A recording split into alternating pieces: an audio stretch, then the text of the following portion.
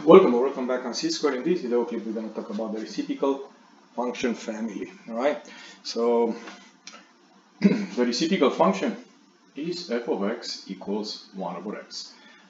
These here are nothing else than a function related to 1 over x. Right. This one is move down k units, move up k units, move right, left, reflected over the x-axis, reflected over the y-axis. Now, another thing that you may want to remember is that uh, a reciprocal function looks like this, right? With these two branches. We discussed about this in a previous video clip. Now, what I really like to use for graphing a reciprocal function is this idea of vertical asymptote, which is x equals h, and horizontal asymptote, which is y equals k. Now let's see how we use this. And by the way, these two guys will help us to find the domain and the range. So we're looking here to number one. If you remember in the previous slide, we had 1 over x minus h plus k. So it's very important to remember minus h.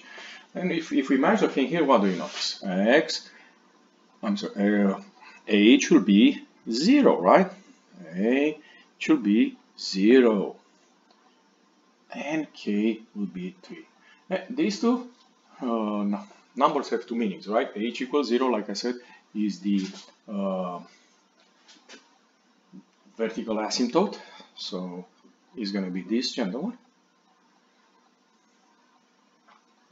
And k equals 3 is the horizontal asymptote. 1, 2, 3, we have this guy here.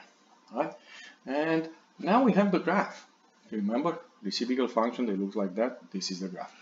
But also we have the domain and the range. Domain is any number but zero, right? So you see how related these two vertical asymptotes. So we cannot plug zero for x. And the domain is any number but three. We cannot get three out of this function. Now let's see how the graph looks like using the computer algebra system. You see very similar uh, horizontal asymptote, vertical asymptote, than that, very good. And if you need to be more accurate with your uh, graph, pick some value for x, find y's, and you should be fine. Uh, pause this video clip and try to do number two, please.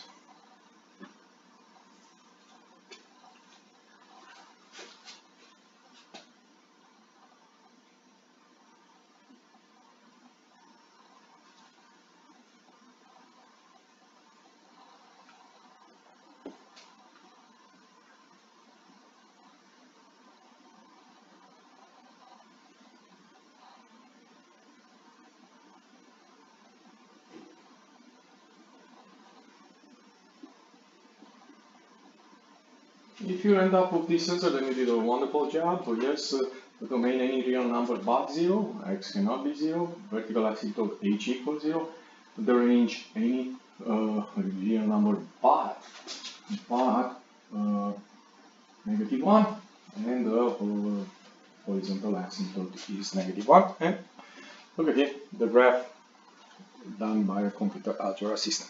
Let's move to the next two questions, number three and four. And on this one, what do you notice? Uh, here we're going to have h equals negative 3 and k equals 0.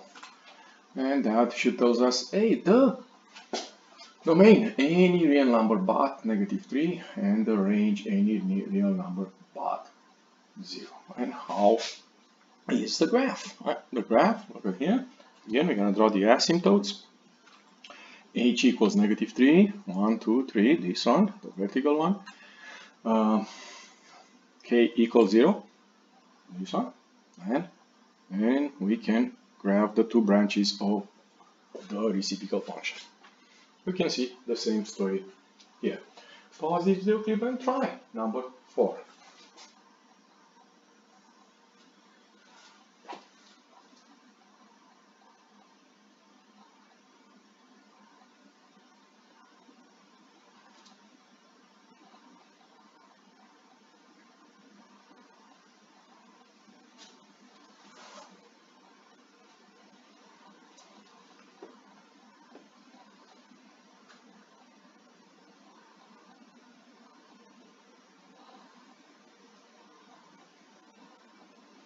If you have something like that, then you did a wonderful job. The domain any real number but 2, the range any real number but 0, vertical asymptote h equals 2, horizontal asymptote uh, k equals 0, and you see the graphs done by hand and by a computer algebra system.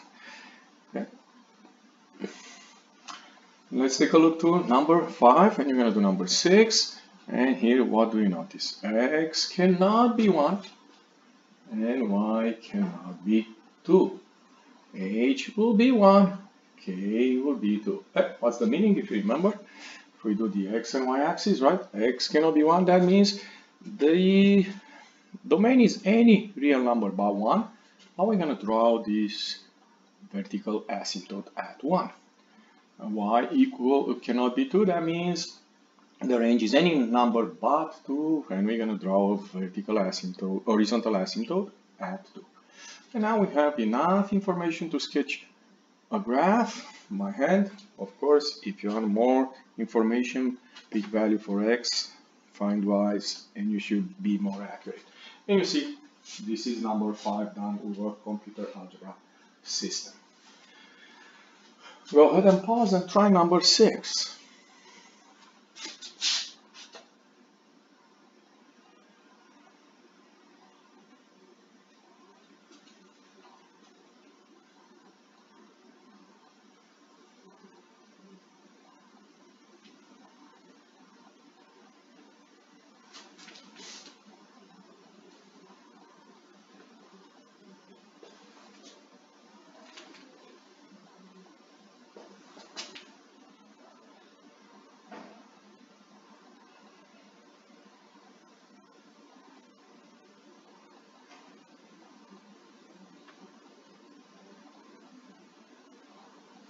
If you end up with something like that for number 6, then you did an excellent job. The domain any real number but negative 2, the range any real number but negative 3, the uh, vertical asymptote h equals negative 2, the horizontal asymptote k equals negative 3, and you have a sketch there, and you have the graph here done by a computer algebra system, where you can see the same things.